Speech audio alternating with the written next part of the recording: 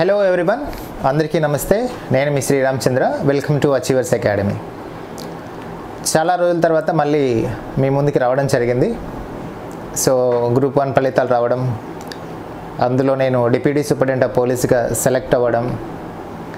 So గతంలో group వన్లో excise డిఎస్పీకి సెలెక్ట్ అయి ఉండడం ట్రైనింగ్ షెడ్యూల్ వీటికి ప్యారలల్గా నేను రన్ చేస్తున్నటువంటి గ్రూప్ వన్ మెంటర్షిప్ సో కొంత బిజీ షెడ్యూల్ వల్ల మీ ముందుకు రాలేకపోయాను.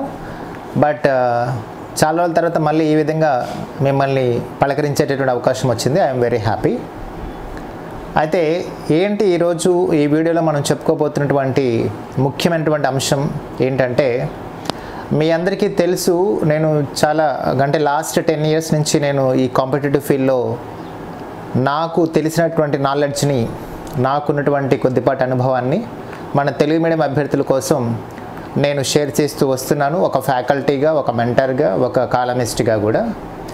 ఈ క్రమంలో ఇండియన్ పాలిటీ పుస్తకాన్ని కూడా నేను రచిస్తున్నానని చెప్పేసి మీకు ఇదివరకే తెలియచేస్తున్నాను. కోవిడ్ నైన్టీన్ స్టార్ట్ అయినప్పుడు ఆ ఖాళీ సమయాన్ని ఎలా వినియోగించుకోవాలి అనుకు అనుకుంటున్నటువంటి తరుణంలో తెలుగు మీడియం వాళ్ళ కోసం ఏదైనా మనం చేస్తే బాగుంటుంది ఇప్పుడు చేస్తున్న దానికంటే ఇంకేదైనా కొంత బాగా చేస్తూ బాగుంటుందని చెప్పేసి నేను అనుకోవడం జరిగింది. ఆ క్రమంలో తెలుగు మీడియంలో కోర్ సబ్జెక్ట్స్ అయినటువంటి పాలిటీ ఎకానమీ అదేవిధంగా జియోగ్రఫీ ఇలాంటి టాపిక్స్ మీద తెలుగు మీడియం అభ్యర్థులకి చాలా సరళంగా చాలా క్లుప్తంగా క్లియర్ కట్గా అర్థమయ్యేలాగా పుస్తకాలు రాస్తే బాగుంటుంది అనేటటువంటి ఆలోచన వచ్చింది. ఆ క్రమంలోనే నేను ఫస్ట్ ఇండియన్ పాలిటీ అనేటటువంటి పుస్తకాన్ని రచించడానికి నేను సమాయత్తమయ్యాను ఎందుకంటే ఆల్రెడీ నేను ఇండియన్ పాలిటీ టీచ్ చేస్తూ ఉన్నాను కాబట్టి. అయితే పుస్తక రచన అనేది సుదీర్ఘంగా జరిగింది. ఒకవైపు నా యొక్క గ్రూప్ అండ్ ప్రిపరేషన్ ఇంకోవైపు పుస్తక రచన రెండు ప్యారలల్గా జరుగుతూ వచ్చాయి. సో వన్ ఇయర్లో పుస్తకం అయితే రాయడం కంప్లీట్ అయింది. సో పుస్తకం కంప్లీట్ అయిన తర్వాత దాన్ని మార్కెట్లోకి తీసుకొచ్చే క్రమంలో భాగంగా అచీవర్స్ అకాడమీతో కలిసినటువంటి ఈ యొక్క ప్రాజెక్ట్ మధ్యలో కొన్ని అవాంతరాలకు గురయ్యింది ఎందుకంటే నేను లాస్ట్ గ్రూప్ వన్లో డిఎస్పీగా ఎక్సైజ్ డిఎస్పీకి సెలెక్ట్ అయినప్పుడు ట్రైనింగ్ పర్పస్ మీద నేను సుమారుగా వన్ అండ్ హాఫ్ ఇయర్ పాటు నేను దూరంగా ఉండాల్సి వచ్చింది. ఆ క్రమంలో పాలిటీ బుక్కు సంబంధించిన కరెక్షన్స్ అప్డేట్స్ ఇవన్నీ కూడా కొద్దులు మధ్యలో కొన్ని రోజులు ఆగిపోవడం జరిగింది. మళ్ళీ కొత్త గ్రూప్ అని రావడం వల్ల దానికి సంబంధించినటువంటి ప్రిపరేషన్ నేను చేస్తున్నటువంటి క్రమంలో ఇంకొన్ని రోజులు మళ్ళీ ఆ గ్రూప్ అని ప్రిపరేషన్ వల్ల లేట్ అయింది. మొత్తానికి ఈ సెకండ్ గ్రూప్ వన్లో నేను సక్సెస్ అయిన తర్వాత డిఎస్పీకి నేను సెలెక్ట్ అయిన తర్వాత ఇప్పుడు మళ్ళీ నేను ట్రైనింగ్కి వెళ్ళాల్సి ఉంటుంది. ఈ మధ్యలో కొంత టైం అయితే మనకు దొరికింది. ఈ టైంని మనం సద్వినియోగం చేసుకొని పాలిటీకి సంబంధించి ఇండియన్ కాన్స్టిట్యూషన్ అండ్ పొలిటికల్ సిస్టమ్కి సంబంధించి ఏవైతే అప్డేట్స్ ఉన్నాయో ముఖ్యమైనటువంటి అప్డేట్స్ ఉన్నాయో వాటన్నిటినీ కూడా లింక్ చేసుకుంటూ పుస్తకాన్ని కంప్లీట్ చేయడం జరిగింది. సో టాపిక్ ఏంటంటే Indian polity and political system భారత రాజ్యాంగము మరియు రాజకీయ వ్యవస్థ అనేటటువంటి పుస్తకాన్ని మనము మీ ముందుకు తీసుకురాబోతున్నాం అనేటటువంటి విషయం నేను మీతో షేర్ చేసుకుంటున్నందుకు నేను చాలా హ్యాపీగా ఫీల్ అవుతున్నాను. ఎందుకంటే ఈ ప్రయాణం అనేది సుమారుగా ఇండియన్ పాలిటీ పుస్తకాన్ని మార్కెట్లోకి తీసుకొస్తున్నాము అనేటటువంటి విషయం గత మూడేళ్ళుగా నేను మీకు తరచుగా చెప్తూ వస్తున్నాను. పలు సందర్భాలలో పుస్తక విడుదల కార్యక్రమం కూడా వాయిదా పడింది. సో అయినా కూడా నేను అంటే నమ్మిన వాళ్ళు నా కంటెంట్ మీద నమ్మకం ఉన్న వాళ్ళు నేను చెప్పేటటువంటి టీచింగ్స్ మీద నమ్మకం ఉన్న వాళ్ళు అండ్ గ్రూప్ వన్లో నేను బ్యాక్ టు బ్యాక్ అచీవ్మెంట్ సాధించిన తర్వాత నా గురించి తెలుసుకున్న వాళ్ళందరికీ కూడా ఈ పుస్తకం మీద ఒక మంచి ఒపీనియన్ అయితే ఉంది ఒక మంచి ఎక్స్పెక్టేషన్స్ అయితే ఉన్నాయి. సో అలాంటి క్రమంలో వాయిదా పడిన ప్రతిసారి మీరు నిరుత్సాహానికి గురై ఉంటారు డెఫినెట్గా డిసప్పాయింట్ అయి ఉంటారు బట్ ఫైనల్గా అయితే మీ ముందుకు పుస్తకాన్ని అయితే తీసుకొస్తున్నాం. అది ఈరోజు నేను చెప్పాలనుకున్న విషయం. సో భారత రాజ్యాంగము రాజకీయ వ్యవస్థ అనేటటువంటి పుస్తకాన్ని మీ ముందుకు తీసుకొస్తున్నందుకు చాలా సంతోషంగా ఉంది. అయితే ఆల్రెడీ ఇండియన్ పాలిటీకి సంబంధించి మార్కెట్లో చాలా చాలా పుస్తకాలు విస్తృతమైనటువంటి సమాచారం మనకి లభ్యమవుతుంది. Even though Telugu medium Telugu మీడియంలో కూడా చాలా విస్తృతమైనటువంటి కంటెంట్ దొరుకుతూ ఉంది. చాలా చాలా మంచి పుస్తకాలు ఉన్నాయి సో ఎందుకంటే మార్కెట్లో ఉన్న ఏ పుస్తకాన్ని కూడా బాగలేదు అని చెప్పడానికి వీల్లేదు. ఎందుకంటే ప్రతి ఆథర్ కూడా ఎంతో కేర్ తీసుకొని జాగ్రత్తగానే పుస్తకం విద్యార్థులకి అభ్యర్థులకి ఉపయోగపడాలనే ఉద్దేశంతోనే రాస్తారు. కాబట్టి ఇండియన్ పాలిటీ మీద ఉన్నటువంటి పుస్తకాలు ఇంకే సబ్జెక్ట్ మీద లేవు మార్కెట్లో. ముఖ్యంగా మన హైదరాబాద్ మార్కెట్లో.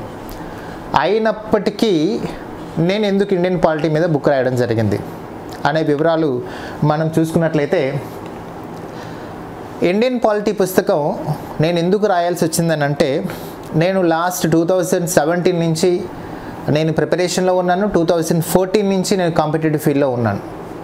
సుమారుగా ఎనిమిది తొమ్మిది సంవత్సరాల నుంచి. ఈ కాంపిటేటివ్ ఫీల్డ్లో నేను గ్రూప్ వన్ కోసం ప్రిపేర్ అవుతున్నప్పుడు మొదటి ప్రాథమిక దశలో ఫస్ట్ స్టేజ్ ఆఫ్ ప్రిపరేషన్లో కూడా నేను మార్కెట్కి వెళ్ళినప్పుడు అక్కడ ఏ పుస్తకం కనిపిస్తే ఏ పుస్తకం ఆకర్షణీయంగా కనిపిస్తే ఎవరైనా ఏదైనా సజెస్ట్ చేస్తే వెంటనే ఆ పుస్తకాన్ని కొనేయడం దాన్ని చదవడం లాంటివి చేసేవాడిని. కానీ అనుభవం జరిగిన తర్వాత చాలాసార్లు అనుభవాలు ఎదురైన తర్వాత ఎగ్జామ్లో క్వశ్చన్స్ క్వశ్చన్స్ ఉన్నటువంటి ఆప్షన్స్ వాటిని మనం ఎంచుకునే విధానంలో మనం పడిన గందరగోళం ఇవన్నీ అనుభవం అయిన తర్వాత మార్కెట్లో ఉన్న పుస్తకాలు చాలా మటుకు పుస్తకాలు ప్రజెంట్ ఉన్నటువంటి పోటీ పరీక్షల స్థాయికి తగిన విధంగా కాన్సెప్ట్ని ఫ్రేమ్ చేయలేదు అని చెప్పేసి నాకు అనిపించింది. కంటెంట్ అందరూ ఇస్తారు. కంటెంట్ను ఎవరు మార్చలేరు కదా? మార్కెట్లో ఉన్న ఏ పుస్తకం అయినా సరే ఏ ఆథర్ అయినా సరే కంటెంట్ని మాత్రం మార్చడానికి వీలు ఉండదు కానీ ఆ కంటెంట్ని మరీ ముఖ్యంగా బిగినర్స్కి ఫ్రెషర్స్కి అది సులభంగా ఎలా రీచ్ అవ్వాలి? దాన్ని ఈజీగా ఎలా ఫ్రేమ్ చేయాలి? దాన్ని చదివేటటువంటి అభ్యర్థి యొక్క మైండ్లోకి ఎలా ఈజీగా చొప్పించగలగాలి అనేటటువంటి విధానంలో చాలా పుస్తకాలు సక్సెస్ కాలేకపోయాయి. ఇది నేను ప్రత్యక్షంగా అనుభవించినటువంటి విషయం. సో ఫైనల్గా నేను గ్రూప్ వన్ అచీవ్ అవ్వడానికి రెండుసార్లు ఈ తెలుగు మీడియం పుస్తకాలు కంటే కూడా యూపీఎస్సి నోట్స్ నాకు చాలా చాలా ఎక్కువగా ఉపయోగపడింది. నేను చాలా సందర్భాల్లో ఇంటర్వ్యూలో కూడా మీకు ఆ విషయం చెప్పాను.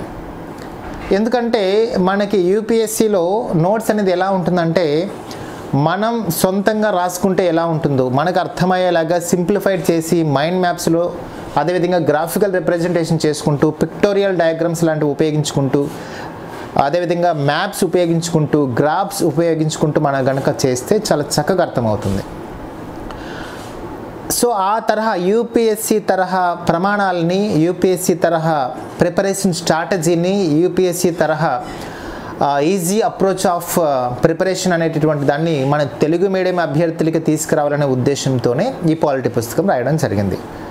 మీరు మార్కెట్లోకి వెళితే ఇండియన్ పాలిటీ మీద నంబర్ ఆఫ్ పుస్తకాలు మీకు కనిపిస్తాయి. కానీ ఆ పుస్తకాలు కొన్నా సరే మళ్ళీ మీరు సొంతంగా మీకు అర్థమయ్యేలాగా పిన్ టు పిన్ రాసుకోవాల్సిన పరిస్థితి ఉంది. ఏ పుస్తకము కూడా తెలుగు మీడియంలో ఉన్నటువంటి పుస్తకాలన్నీ కూడా ఇండియన్ పాలిటిక్స్ సంబంధించి ఆల్మోస్ట్ ఒకే విధంగా ఉంటాయి. వాళ్ళ ప్రజెంటేషన్లో కానీ ఇచ్చినటువంటి కంటెంట్ యొక్క విధానంలో కానీ ఒకే రకమైనటువంటి ధోరణిని అవలంబించి ఉన్నాయి. సో దీనివల్ల ఏమవుతుందంటే మనం పుస్తకం కొన్నా సరే మళ్ళీ మనం అదనంగా వర్క్ పెట్టాల్సిన అవసరం ఉంది. అదనంగా మనం శ్రమించాల్సిన అవసరం ఉంది. మళ్ళీ మనం సొంతంగా పాయింట్స్ సపరేట్గా రాసుకోవాల్సిన అవసరం ఉంది. దీనివల్ల సమయం వేస్ట్ అవుతుంది. అభ్యర్థికి పుస్తకం కొన్నామన్నటువంటి సాటిస్ఫాక్షన్ ఉండదు. సో ఈ ఈ విషయాలన్నింటినీ దృష్టిలో పెట్టుకొని అభ్యర్థికి ఎగ్జామినేషన్ పాయింట్ ఆఫ్ వ్యూలో ఒక కాన్సెప్ట్ని ఎంత సులభంగా చెప్పాలో అంత సులభంగా చెప్పే ప్రయత్నం చేసి తెలుగు మీడియం అభ్యర్థికి ఓకే నేను ఈ కాన్సెప్ట్ని చదువుతున్నాను కాబట్టి ఇక ఇక్కడ ఈ కాన్సెప్ట్ మీద ఎలాంటి పాయింట్స్ మిస్ కావు? ఇంత సింపుల్గా ఈ కాన్సెప్ట్ని అర్థం చేసుకోవచ్చు అనేటటువంటి ఒక ఆత్మవిశ్వాసాన్ని కల్పించడం కోసం మనం ఈ పుస్తకాన్ని తీసుకురావడం జరిగింది. మరి ఈ పుస్తకంలో ఉన్నటువంటి ప్రత్యేకతలు స్పెషల్ ఫీచర్స్ ఏమున్నాయి యునిక్ ఫీచర్స్ ఏమున్నాయి మనం ఒకసారి చూద్దాం. జనరల్గా ఇది ఒకసారి మీరు గమనించినట్లయితే ఇది ప్రాథమిక హక్కులు దానికి సంబంధించిన సుప్రీంకోర్టు కేసులకు సంబంధించినటువంటి ఒక పేజ్. ఇక్కడ నేను కేశవానంద భారతి కేసు గురించినటువంటి ఇష్యూని ఇచ్చాను. జనరల్గా కేశవానంద భారతి కేసుకు సంబంధించినటువంటి ఇన్ఫర్మేషన్ మనము మార్కెట్లో ఉన్న ప్రతి పుస్తకంలో ఎలా ఉంటుంది? చాలా గందరగోళంగా అసలు ఆ కేసు ఎందుకు వచ్చింది? దాని నేపథ్యం అనేది తెలియకుండానే కేసు జడ్జిమెంట్స్లు అనేవి వివరించడం జరుగుతుంది. అలాగని ప్రతి కేసు దాని యొక్క నేపథ్యం మనం పాలిటీలో తెలుసుకోవాల్సిన అవసరం లేదు. కానీ ప్రాథమిక హక్కులకు సంబంధించి రాజ్యాంగ మౌలిక స్వరూపానికి సంబంధించి కొన్ని ముఖ్యమైనటువంటి కేసులు మనకు ఉంటాయి వాటి నేపథ్యం మనం తెలుసుకోగలిగితే ఆ సుప్రీంకోర్టు యొక్క బెంచ్ ఇచ్చినటువంటి జడ్జిమెంట్ని మనం క్లియర్ కట్గా తెలుసుకోగలిగితే ఆ కాన్సెప్ట్ని మనము ప్రాథమిక హక్కుల్లో కానీ ఆదేశక సూత్రాలు కానీ లేదా రాజ్యాంగ మౌలిక స్వరూపంలో కానీ లేదా ప్రజెంట్ జరుగుతున్నటువంటి వర్తమాన అంశాల మీద కానీ మనం లింక్ చేసుకోవచ్చు. కాబట్టి ఆ కేసు యొక్క పూర్వాపరాలని ఆ కేసులో ఉన్నటువంటి జడ్జీలని ఆ కేసుకు సంబంధించిన ప్రత్యేకతల్ని ఆ కేసులో సుప్రీంకోర్టు ధర్మాసనం ఇచ్చినటువంటి తీర్పుని చాలా క్లియర్ కట్గా అభ్యర్థులకి మనము చాలా స్పష్టంగా అర్థమయ్యేలాగా ఒక పేజీలో ఒక్కొక్క కేసుని ఈ విధంగా మనము ఒక మైండ్ మ్యాప్ లాగా ఫ్రేమ్ చేసి డిజైన్ చేసి ఇవ్వడం జరిగింది. ఒకవైపు కేసు యొక్క నేపథ్యం. అసలు కేశవానంద భారతి కేసు అంటే ఏంటి? అది ఎందుకు వచ్చింది? ఆ కేసు ఎందుకు ఇంత ప్రాధాన్యత సంతరించుకుంది అనేటువంటి వివరాలు. తర్వాత ఆ కేసుకు సంబంధించిన ప్రత్యేకతలు అది సుదీర్ఘంగా జరిగిందా లేదా స్వల్పకాలంలో ముగిసిందా ఏంటి? తర్వాత ఆ సుప్రీంకోర్టుకి సంబంధించిన జడ్జిమెంట్స్ ఏమున్నాయి? అది రాజ్యాంగ మౌలిక స్వరూపానికి సంబంధించి ఈ కేసులో సుప్రీంకోర్టు ఏం వ్యాఖ్యానాలు చేసింది? ఇలాంటి కాన్సెప్ట్స్ అన్నీ కూడా చాలా క్లియర్ కట్గా ఒకే పేజీలో స్పష్టమైనటువంటి సరళమైన భాషలో రాసి మీకు ఇవ్వడం జరిగింది. ఆల్మోస్ట్ ప్రాథమిక హక్కుల్లో ఉన్నటువంటి జడ్జిమెంట్స్ అన్నిటిని కూడా పుస్తకంలో ఈ తరహాలోనే మనం రూపొందించడం జరిగింది. అఫ్ కోర్స్ మీరు గమనించుంటారు తెలుగు మీడియంలో మొట్టమొదటిసారి ఫ్లో చార్ట్ అనేటటువంటి కాన్సెప్ట్ని మైండ్ మ్యాప్ అనేటటువంటి కాన్సెప్ట్ని గ్రాఫికల్ రిప్రజెంటేషన్ అనేటటువంటి కాన్సెప్ట్ని మనం రెండు వేల పద్దెనిమిదిలోనే ఇంట్రొడ్యూస్ చేసాం నాకు తెలిసి that is the first time so ఆ తరహా విధానాన్ని చాలామంది తమ తమ ప్రచురణల్లో పబ్లికేషన్స్లో వాడుకుంటున్నారు. అఫ్ కోర్స్ తప్పేం కాదు. కానీ వాటికైతే మనమే ఆద్యం పోషం సో నేను మన నోట్స్ అంతగా నచ్చడానికి స్టూడెంట్స్కి ఇప్పటికి కూడా కారణం ఏంటంటే మనం ఇచ్చేటటువంటి ఆ కాన్సెప్ట్ని ప్రజెంట్ చేసే విధానం చాలా కొత్తగా ఉంటుంది. సో ఇది ఒకసారి చూడండి. నరేంద్ర మోదీ మనము పాలిటీలో ప్రధానమంత్రుల గురించి మనం చెప్పుకుంటూ ఉంటాం. ప్రధానమంత్రుల గురించి మనం చెప్పుకునేటప్పుడు ప్రధానమంత్రులు వారి యొక్క ప్రత్యేకతల గురించి కూడా మనం చెప్పుకుంటూ ఉంటాం. అలా చెప్పుకుంటూ ఉన్నప్పుడు ప్రజెంట్ మనకున్నటువంటి ప్రధానమంత్రి గారు ఆయన గురించినటువంటి వివరాలన్నీ మనము చాలా స్పెషల్గా మనం ఫోకస్ చేసి ఇచ్చాం. అట్ ద సేమ్ టైం ఆయన సాధించినటువంటి అంతర్జాతీయ గౌరవాలు అంతర్జాతీయ పురస్కారాలు ఇవన్నీ కూడా మనము అంతర్జాతీయ పురస్కారం ఏంటి అది ఏ దేశం ప్రదానం చేసింది ఏ సంవత్సరంలో వచ్చింది ఆ అవార్డు యొక్క ప్రత్యేకత ఏంటి? ఇలాంటి కోణంలో ఒక టేబుల్ అనేది ఫామ్ చేసి ఆ టేబుల్లో ఎక్స్క్లూజివ్గా మనం ఈ రోజు రెండు వేల ఇరవై మూడు వరకు ఆయనకి ఏమేమి అవార్డులు వచ్చాయి మనం ఇయర్ వైజ్గా కూడా ఒక క్రొనాలజికల్ ఆర్డర్ని మనం ఫ్రేమ్ చేసుకుంటూ ఇవ్వడం జరిగింది. ఇలాంటి అప్డేటెడ్ మ్యాటర్ ఏదున్నా కూడా ఒకే చోట ఒక టేబులర్ ఫామ్లో కూడా మనము పొందుపరిచి పుస్తకంలో చాలా కాన్సెప్ట్స్ని ఆ విధంగా డిజైన్ చేయడం జరిగింది. తర్వాత ఇది చూడండి మైండ్ మ్యాప్ భారత పార్లమెంట్ జనరల్గా పార్లమెంట్ అంటే వెరీ మచ్ ఫ్రెషర్స్కి బిగినర్స్కి ఇప్పటికీ చాలా కన్ఫ్యూజన్ ఉంటుంది. అరే అప్పర్ హౌస్ అంటే ఏంటి లోయర్ హౌస్ ముఖ్యంగా తెలుగు మీడియంలో ఆ పదాలు ఎగువ సభ దిగువ సభ ప్రజాసభ ప్రజా ప్రతినిధుల సభ శాశ్వత సభ ఇలాంటి అనేక పదాలు గందరగోళానికి గురి చేస్తూ ఉంటాయి. ఈవెన్ ఫ్రెషర్స్కి అయితే అది మరీ కన్ఫ్యూజన్గా ఉంటుంది. ఇలాంటి క్రమంలో అసలు పార్లమెంట్ అంటే ఏంటి? పార్లమెంట్లో ఎవరెవరు ఉంటారు? ఎందుకుంటారు సో వాళ్ళ యొక్క కాలపరిమితి ఏంటి? ఏ సభ ఎలా ఉంటుంది? ఇలా వివరాలన్నింటినీ ఒక ఫ్లో చార్ట్ రూపంలో ఒక చక్కని మైండ్ మ్యాప్ రూపంలో మీకు ప్రజెంట్ చేయడం జరిగింది. పార్లమెంట్ అంటే ఎగువ సభ ఉంటుంది దిగువ సభ ఉంటుంది రాష్ట్రపతి ఉంటుంది. ఎగువ సభ అంటే రాజ్యసభ దిగువ సభ అంటే లోక్సభ. రాజ్యసభలో గరిష్ట సభ్యుల సంఖ్య రెండు వందల యాభై ప్రస్తుతం రెండు వందల నలభై ఐదు మంది ఉన్నారు. ఇందులో ఎన్నికయ్యేవారు రెండు వందల ముప్పై మూడు మంది నామినేట్ అయ్యేవారు పన్నెండు మంది. కాలపరిమితి శాశ్వతం. రాజ్యసభ సభ్యుల పదవి కాలం ఆరు సంవత్సరాలు. దీనికి ఇతర పేర్లు పెద్దల సభ మేధావుల సభ శాశ్వత సభ నిరంతర సభ. ఇందులో సభాధ్యక్షులు chairman deputy chairman panel chairman. ఇలాగ మనం ఒక క్రొనలాజికల్ ఆర్డర్లో ప్రకారం నీట్గా ఇవ్వడం జరిగింది. సో మీన్ వైల్ లోక్సభకి సంబంధించి కూడా. సో ఈ మైండ్ మ్యాప్ని మీరు ఒక ఐదు నిమిషాలు మైండ్ పెట్టి స్పష్టంగా దృష్టి పెట్టుకుంటే పార్లమెంట్కి సంబంధించిన ఇన్ఫోగ్రాఫిక్ మొత్తం ఈ మైండ్లో ఫిక్స్ అయిపోతుంది. సో ఆ విధంగా కన్ఫ్యూజన్కి గురి చేసేటటువంటి చాలా కాన్సెప్ట్స్ని మనము ఫ్లోచార్ట్స్ రూపంలో ఇలాంటి ఇన్ఫోగ్రాఫిక్స్ రూపంలో మైండ్ మ్యాప్స్ రూపంలో చాలా సులభంగా అర్థమయ్యేలాగా అభ్యర్థులకు ఎక్కువ కాలం పాటు గుర్తుండేలాగా చేసే ప్రయత్నం చేయడం జరిగింది. ఇందుకోసం నేను ఎక్కువ కా సమయం తీసుకొని చేయడం జరిగింది. రెండవ చూడండి. మ్యాప్స్ అంటేనే మీకు ఫస్ట్ నేనే గుర్తుకొస్తాను. ఎందుకంటే లాస్ట్ ఫోర్ ఫైవ్ ఇయర్స్ నుంచి విస్తృతంగా ఈ మ్యాప్ పాయింట్ ఆఫ్ వ్యూలో మనం కాన్సెప్ట్ని ఎలా నేర్చుకోవాలి? పాలిటీ జియోగ్రఫీ హిస్టరీ ఎకానమీ ఇవన్నీ కూడా మనమే ఇంట్రొడ్యూస్ చేస్తాం ఫస్ట్. కాన్సెప్ట్ త్రూ మ్యాప్స్ అనేటటువంటి పాయింట్ని.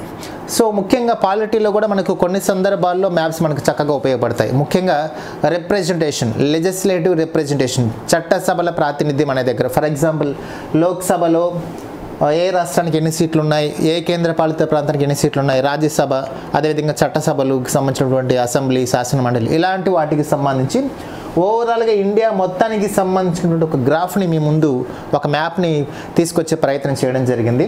అఫ్ కోర్స్ ఇలాంటివి చాలామంది మనకు కాపీ చేశారు. Of course no problem but concept అనేది అందరికీ చేరడమే మన యొక్క ఉద్దేశం కాబట్టి. తర్వాత ఇది చూడండి మనము ఒక కాన్సెప్ట్ని ఎంత సింప్లిఫైడ్ చేసి ఇస్తామనే దానికి ఒక చక్కని ఉదాహరణ. ఫర్ ఎగ్జాంపుల్ మనం లోక్సభ స్పీకర్ యొక్క అధికారాల గురించి మనం మాట్లాడుకుంటున్నాం. జనరల్గా పుస్తకాల్లో ఎలా ఉంటుందంటే అది ఒక రెగ్యులర్ ఫార్మాట్లో ఒక పారాగ్రాఫిక్ ఫార్మాట్లో థియరికల్ ఫార్మాట్లో ఒక నవల లేదా ఒక కథ లేదా ఒక సుదీర్ఘమైనటువంటి వ్యాసంగం చదువుతున్నట్టుగా ఉంటుంది. కానీ అభ్యర్థికి ఒక కాన్సెప్ట్ చదివేటప్పుడు అది ఒక పేజీలోనే నిండుగా కనిపిస్తే చాలా స్పష్టంగా గుర్తుంటుంది ఎక్కువ కాలం పాటు గుర్తుంటుంది కూడా. వాటి మధ్య డిఫరెన్సియేషన్స్ కూడా మనకి చాలా త్వరగా తెలుస్తాయి. ఇక్కడ లోక్సభ స్పీకర్ అధికారాల గురించి చెప్పుకున్నప్పుడు క్రమబద్ధీకరణ అధికారులు పర్యవేక్షణ అధికారులు పరిపాలన సంబంధ అధికారులు ప్రత్యేక అధికారులు అని చెప్పేసి ఒకే పేజీలోనే లోక్సభ స్పీకర్కి ఏ రకమైన అధికారులు ఉంటాయనేవి చాలా స్పష్టంగా మనం ఇవ్వడం జరిగింది. చాలా మటుకు పుస్తకాల్లో ఎలా మెన్షన్ చేస్తారు వీటిని? రాజ్యాంగంలో ఉన్న ఆర్టికల్స్తో సహా మెన్షన్ చేస్తారు. కానీ పాలిటీలో ఎప్పుడు కూడా ఆర్టికల్స్ మీద వచ్చే question one or two questions మాత్రమే. మనం పాలిటీ బుక్లో ఏం చేస్తామంటే ప్రతి యూనిట్కి ముందుగానే ప్రతి కాన్సెప్ట్కి ముందుగానే దానికి సంబంధించిన రాజ్యాంగపరమైన అధికారాలన్నీ కూడా ముందుగానే మనం ఇవ్వడం జరుగుతుంది. ఇప్పుడు సుప్రీంకోర్టు అనుకోండి. సుప్రీంకోర్టుకి సంబంధించిన ఆర్టికల్స్ మొత్తం మనం ఫ్రంట్ పేజీలో ముందుగానే లైన్ టు లైన్ ఒక్క లైన్లో అర్థమయ్యేలాగా ఆ ఆర్టికల్ చెప్పే సారాంశాన్ని మనం ముందుగానే అన్ని కోట్ చేస్తాం. మళ్ళీ నెక్స్ట్ మనం కాన్సెప్ట్లోకి వెళ్ళిన తర్వాత మళ్ళీ ఆర్టికల్స్ ప్రస్తావన ఎక్కడ రాదు. ఎందుకంటే చాలా పుస్తకాల్లో తెలుగు మీడియంలో నేను గమనించింది.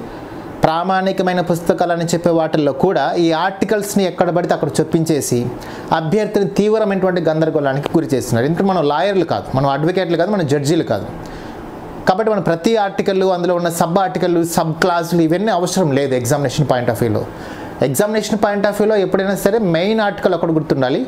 అదేం చెప్తుందో గుర్తుండాలి. అంతే అంతకు మించి ఈవెన్ గ్రూప్ వన్లో కానీ సివిల్స్లో కానీ అంతకు మించినటువంటి సబ్ ఆర్టికల్స్ కానీ సబ్ క్లాసెస్ కానీ అవసరమే లేదు. కానీ తెలుగు మీడియం పుస్తకాల్లో ఆ రకమైనటువంటి గందరగోళం ఉంది.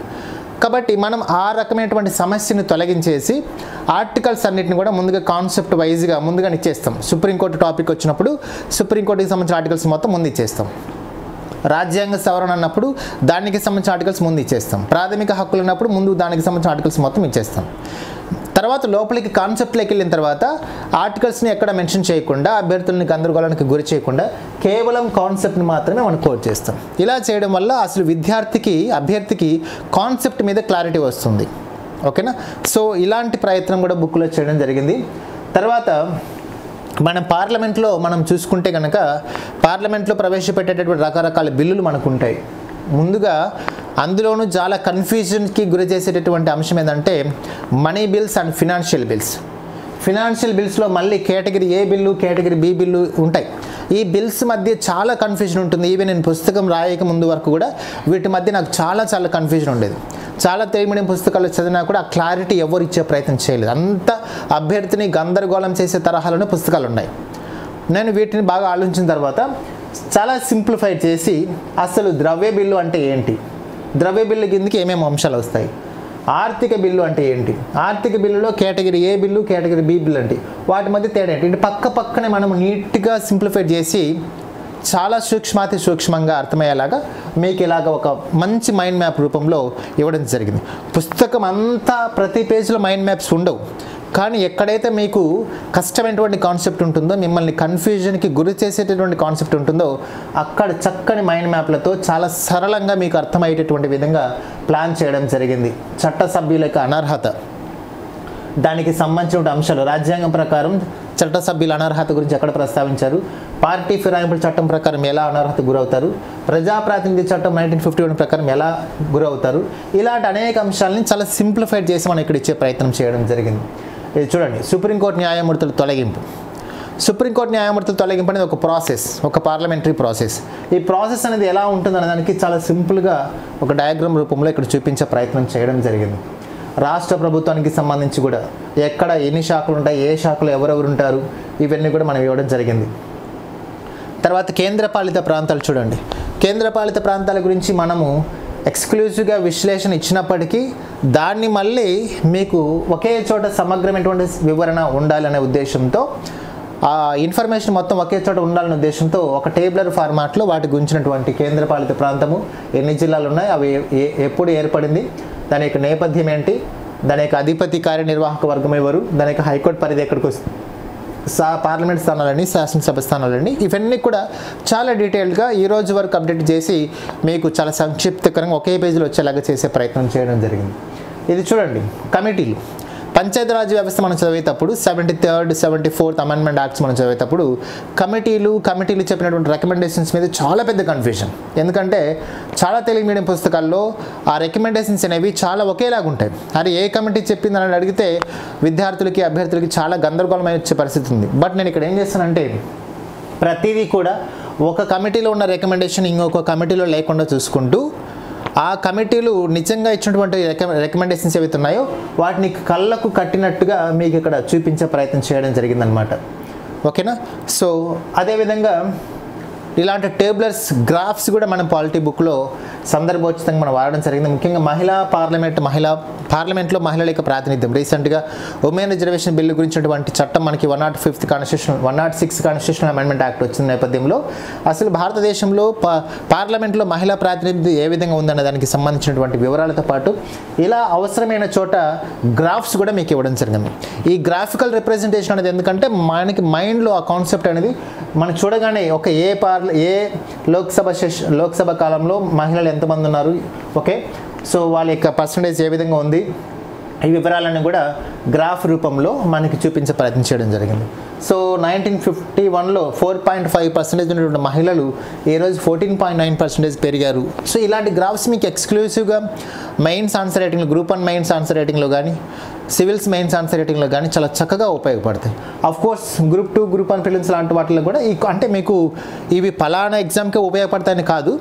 అంటే కాన్సెప్ట్ని మనం ఎంత క్రియేటివ్గా నేర్చుకోవచ్చు? కాన్సెప్ట్ని మనం ఎంత క్లారిటీగా దాన్ని అర్థం చేసుకోవచ్చు అనేటటువంటి అంశం మీకు అలవాటు అవుతుందన్నమాట నేను లాస్ట్ ఫోర్ ఫైవ్ ఇయర్స్ నుంచి కూడా అభ్యర్థులందరికీ చెప్పేది ఒక్కటే చెప్తుంటాను ఎప్పుడు కూడా. ప్రిపరేషన్లో కాసింత కళా పోషణ అనేది ఉండాలి. ప్రిపరేషన్లో పక్క వాళ్ళకంటే ఎప్పుడు కూడా మనం రాసుకుంటున్న నోట్స్ చాలా కొత్తగా క్రియేటివ్గా ఇన్నోవేటివ్గా నావల్టీగా ఉండాలి. అప్పుడే మనం మిగతా వాళ్ళకంటే ఒక పాయింట్ ఎక్కువ మనం చదవగలుగుతాం ఒక పాయింట్ మనం నేర్చుకోగలుగుతాం ఒక పాయింట్ మనము అడిషనల్గా మన దగ్గర పెట్టుకోగలుగుతాం. సో చాలా విపరీతమైనటువంటి పోటీ ఉన్నటువంటి ఈ ప్రపంచంలో మనం మెరుగైనటువంటి స్థాయిని అందుకొని సర్వీస్ తెచ్చుకోవాలంటే ముఖ్యంగా గ్రూప్ వన్ లాంటి సర్వీస్ మనం తెచ్చుకోవాలంటే డెఫినెట్లీ పక్కోళ్ళ కంటే మన ప్రిపరేషన్ బాగుండాలి పక్కోళ్ళ కంటే మన దగ్గర కంటెంట్ బాగుండాలి పక్కోళ్ళ కంటే మన దగ్గర ఒక ఇన్నోవేటివ్ థాట్ ఉండాలి. సో అలా ఉండాలంటే మీకు ఈ తరహా అప్రోచ్ ఈ తరహా ప్రిపరేషన్ అనేది మీకు అలవాటు చేయాలి. అలా అలవాటు చేసే క్రమంలో భాగంగానే పాలిటీ బుక్ని మరింత కళాత్మకంగా తీర్చిదిద్దాం. ఓకేనా? సో ఇలాంటి క్రమంలో గ్రాఫ్లు mind maps flow charts India maps ఇంకా కొన్ని ముఖ్యమైనటువంటి ఇన్ఫోగ్రాఫిక్స్ టేబులర్ ఫార్మాట్స్ ఇవన్నిటిని మనము జోడించుకుంటూ ఎక్కడా కూడా మళ్ళీ కాన్సెప్ట్ అనేది తగ్గదు. అంటే మరి పై పైన చెప్పుకుంటూ వెళ్ళిపోవడం బేసిక్స్ మాత్రమే చెప్పుకుంటూ వెళ్ళిపోవడం అలా కాకుండా ప్రతి కాన్సెప్ట్లో ఏవైతే కోర్ పాయింట్స్ ఉంటాయో ఆ కోర్ పాయింట్స్ని మిస్ చేయకుండా అనవసరమైనటువంటి కంటెంట్ అస్సలు బుక్లో పెట్టకుండా చాలా పుస్తకాలు నేను గమనించింది అనవసరమైన కంటెంట్ కూడా అందులో పెడతారు. ఎందుకు పెడతారో నాకు తెలియదు ఇప్పటికీ. కాబట్టి ఆ అనవసరమైనటువంటి అన్నెసెసరీ కంటెంట్ని పక్కన పెట్టేసి దాన్ని ట్రిమ్ చేసేసి జాగ్రత్తగా ఎగ్జామినేషన్ పాయింట్ ఆఫ్ వ్యూ ఏది అవసరమో అంతవరకే పుస్తకాన్ని పరిమితం చేసి కరెంట్ పాలిటీతో ముఖ్యంగా రీసెంట్ ఖలిస్తాన్ ఇష్యూ దగ్గర నుంచి ఉమెన్ రిజర్వేషన్ బిల్ దగ్గర నుంచి బీహార్ బీసీ కులగరణ క్యాస్ట్ సెన్సెస్ దగ్గర నుంచి ఇవన్నీ కూడా మనము అప్డేట్ చేసుకుంటూ రావడం జరిగింది పుస్తకాన్ని. సో వీలైనంత ఎక్కువగా తెలుగు మీడియం వాళ్ళకి ఈ పుస్తకం ఒక ప్రిపరేషన్ స్ట్రాటజీని ఆ యొక్క అభ్యర్థుల యొక్క ప్రిపరేషన్ వ్యూహాన్ని మార్చే విధంగా ఉండాలనే ఉద్దేశంతో ప్రతి లైన్ టు లైన్ కూడా చాలా జాగ్రత్తలు తీసుకొని త్రీ ఇయర్స్ లేట్ అయిన కూడా పుస్తకాన్ని మనము తయారు చేయడం జరిగింది రూపొందించడం జరిగింది. సో ఈ పుస్తకం మొత్తానికి ఇక మీ ముందుకు వస్తుంది. వచ్చిన తర్వాత డెఫినెట్గా మీరు ఈ పుస్తకాన్ని కొంటారు ఆదరిస్తారు. ఎక్కడా కూడా మీరు పుస్తకం కొనేటప్పుడు అరే ఇది పది రూపాయలు ఎక్కువ ఉంది ఇది పది రూపాయలు తక్కువ ఉంది అని చూడకండి. ఎందుకంటే మన జీవితంలో చాలా చాలా అనవసరమైనటువంటి విషయాలకి డబ్బులు ఖర్చు పెడుతూ ఉంటాం. వంద రూపాయల దగ్గర నుంచి వెయ్యి రూపాయల వరకు మనకి పెద్దగా సమస్య అనుకోకుండానే ఖర్చు పెడుతూ ఉంటాం. కానీ ప్రతి రూపాయి చాలా విలువైనది. మీరు ఇప్పటివరకు ఎన్నో పుస్తకాలు ఖచ్చితంగా కొని ఉంటారు. డెఫినెట్గా వాటి వల్ల మీకు లబ్ధి కూడా చేకూరి ఉంటుంది. కానీ మీ యొక్క థాట్ ప్రాసెస్ని మార్చేటటువంటిది మీ యొక్క ప్రిపరేషన్ స్ట్రాటజీని మార్చేటటువంటిది మీ నోట్స్ మేకింగ్ విధానాన్ని మార్చేటటువంటిది. ఖచ్చితంగా ఇంగ్లీష్ మీడియం వాళ్ళతో యూపీఎస్సి వాళ్ళతో మీరు పోటీ పడిగా పోటీ పడేలాగా చేయగలిగేది. కాన్సెప్ట్ని మీ కళ్ళ ముందు కళ్ళకు కట్టినట్లుగా చూపించేటటువంటిది ఈ పుస్తకం అని చెప్పేసి నేను గర్వంగా చెప్పగలుగుతాను. ఓకేనా? సో ఇక పుస్తకంలో ఎక్కడైనా ప్రింటింగ్లో ఎక్కడైనా కొన్ని అక్షర దోషాలు ఉన్నా స్పెల్లింగ్ మిస్టేక్స్ ఉన్నా వ్యాకరణ దోషాలు ఉన్నా కూడా ఖచ్చితంగా వాటిని సెకండ్ ఎడిషన్లో వాటిని మనం కరెక్ట్ చేస్తాం. మోస్ట్ హండ్రెడ్కి హండ్రెడ్ పర్సెంట్ ఎక్కడ కూడా స్పెల్లింగ్ మిస్టేక్స్ లేకుండా చూసుకున్నాం. కానీ కొన్ని వందల పేజీలు ఉంటాయి కాబట్టి మనం ఎంత జాగ్రత్త తీసుకున్నా కూడా మనకు తెలియకుండానే ఎక్కడో చోటు కొన్ని అక్షర దోషాలు వ్యాకరణ దోషాలు ఉంటాయి. వాటిని ఖచ్చితంగా సెకండ్ ఎడిషన్లో మనము గుర్తించి ఐడెంటిఫై చేసి వాటికి మళ్ళీ తీసుకొస్తాం. ఇంకా మీరు పాలిటీ పుస్తకం మార్కెట్ నిండా ఉంది కదా మళ్ళీ ఈ పుస్తకం ఎందుకు అనేటటువంటి ఫీలింగ్ లేకుండా అరే ఎన్ని పుస్తకాలు ఉన్నా ఈ పుస్తకం చాలా ప్రత్యేకమైనది అనేటటువంటి అంశం ఆ తృప్తి మీకు లభిస్తుంది. అందులోనూ నేను ఒక ఫ్యాకల్టీగా ఈ పుస్తకాన్ని రాయలేదు. ఒక ఆస్పిరెంట్గా ఈ పుస్తకం రాయలేదు. ఒక గ్రూప్ అన్ అచీవర్గా ఈ పుస్తకం రాశాను. అంటే నేను గ్రూప్ వన్ని రెండుసార్లు సాధించినప్పటికీ నాకు గ్రూప్ వన్ సర్వీస్లో నాకు ఎలాంటి సాటిస్ఫాక్షన్ వస్తుందో ఏమో అది పక్కన పెడితే ఒక ఫ్యాకల్టీగా ఒక మెంటర్గా ఒక టీచర్గా నేను మీకు క్లాసెస్ చెప్పడం మీకు నోట్స్ రాసి అందించడంలో నాకు చాలా పెద్ద సాటిస్ఫాక్షన్ అనేది లభిస్తూ ఉంటుంది. ఈ క్రమంలో భవిష్యత్తులో మరిన్ని పుస్తకాలు రాయడానికి ముఖ్యంగా ఎకానమీ మీద ఆంధ్రప్రదేశ్ ఎకానమీ ఇండియన్ ఎకానమీ మీద పుస్తకాలు రాయాలనే ఆలోచన నాకు ఉంది. జియోగ్రఫీ మొత్తాన్ని మ్యాప్ పాయింట్ ఆఫ్ వ్యూలో పుస్తకం తీసుకురావాలన్న ఆలోచన ఉంది. సో ఖచ్చితంగా ఖాళీ సమయం దొరికినప్పుడు వాటికి సమయం వెచ్చిస్తాను. సో వాటికి ఉత్సాహం ప్రోత్సాహంగా మీరు ఖచ్చితంగా ఈ పుస్తకాన్ని ఈ లాంచింగ్ని మీరు ఖచ్చితంగా మీరు గ్రాండ్ సక్సెస్ చేయండి. సో నేను ఇంతకుముందు చెప్పినట్టుగా ఎక్కడా కూడా మీరు డబ్బుల గురించి ఆలోచించకండి. చాలా విలువైనటువంటి పుస్తకం. ఎందుకంటే ముఖ్యంగా ఒక విజేత రాసినటువంటి పుస్తకం మీ దగ్గర ఉండడం ఎంత కాన్ఫిడెన్స్ ఇస్తుందంటే అది మనకి మోరల్గా చాలా కాన్ఫిడెన్స్ని ఇస్తుంది. నేను ఇంతకుముందు పుస్తకాలు ఫస్ట్లో తెలియక విచ్చలవిడిగా కొనేవాడిని కానీ ఏది పడుతుంది కానీ పోను పోను నాకు ఎక్స్పీరియన్స్ అవుతున్న కొద్దీ మెచ్యూరిటీ లెవెల్ పెరుగుతున్న కొద్దీ ఎవరైతే అచీవ్ అయ్యారో వాళ్ళ నోట్స్కి ఎవరైతే సక్సెస్ అయ్యారో వాళ్ళ యొక్క స్ట్రాటజీస్కి నేను అలవాటు పడిన తర్వాత విజేతలతో మాట్లాడడము విజేతల యొక్క ఇంటర్వ్యూలు చూస్తూ ఉండడము వాళ్ళు రాస్తున్న పుస్తకాలను చదువుతుండడం నాకు అలవాటుగా అయిపోయింది. సో ఈరోజు నేను ఒక అచీవర్గా ఒక విజేతగా ఉన్నాను కాబట్టి ఖచ్చితంగా మీకు ఒక మోరల్ సపోర్ట్ ఇవ్వడానికి ఆ పుస్తకం మీ దగ్గర ఉండాలి. డెఫినెట్గా పాలిటీలో ప్రతి కాన్సెప్ట్ మీకు చాలా సింప్లిఫైడ్గా అర్థమవుతుంది. మీకు ఎగ్జామ్లో ఖచ్చితంగా దానివల్ల బెనిఫిట్ అయితే పొందుతుంది. ఓకేనా? ఫైనల్గా మీ అందరికీ చెప్పేది ఒకటే. ఈ కాంపిటేటివ్ ఫీల్డ్లోకి వచ్చిన తర్వాత మీరు చాలా చాలా జాగ్రత్తగా మీ ప్రయాణం అనేది చేయాలి. పుస్తకాలు ఎలాంటి పుస్తకం కొనాలనే దగ్గర నుంచి మొదలు పెట్టుకుంటే ఎన్ని పుస్తకాలు ఎన్ని పుస్తకాలు కొనాలనే దగ్గర నుంచి ఎంత చదవాలనే దగ్గర నుంచి ప్రతిదీ కూడా చాలా క్లియర్ కట్గా ఉండాలి. మార్కెట్లో దొరికేటటువంటి పుస్తకాలు మార్కెట్లో దొరికేటటువంటి ఆ యొక్క టెస్ట్ సిరీస్లు మార్కెట్లో దొరికేటటువంటి విచ్చలవిడిగా ఉన్నటువంటి ఆన్లైన్ క్లాసెస్ వీటన్నిటికీ కూడా చాలా చాలా జాగ్రత్తగా మీరు ఉండాలి. నేను కొనొద్దని చెప్పను తీసుకోవద్దని చెప్పను కానీ మీ ఎంపికలో మాత్రం ఖచ్చితంగా మీరు చాలా జాగ్రత్త వహించండి. ఒక విజేత మిమ్మల్ని ఖచ్చితంగా విజేతలాగా తయారు చేయగలడు. విజేతల బాటలో నడవండి మీరు ఖచ్చితంగా విజేతలు అవుతారు. ఓకేనా?